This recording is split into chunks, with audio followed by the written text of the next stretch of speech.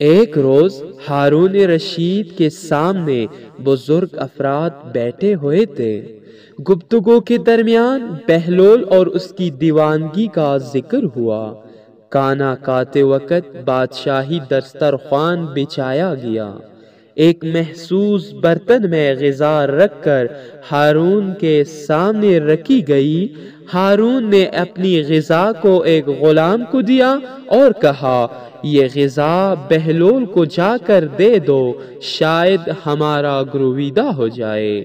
जिस वक़्त ग़ुलाम गज़ा बहलोल के पास लेकर आया वो हराबे में बैठा हुआ देख रहा था कि चंद कुत्ते गद्दे के लाश को का रहे हैं। बहलोल ने हारून की गज़ा को कबूल नहीं किया और गुलाम से कहा, ये गज़ा कुत्तों के आगे डाल दो।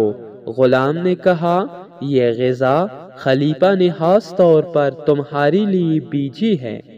खलीफा की तोहीन ना करो।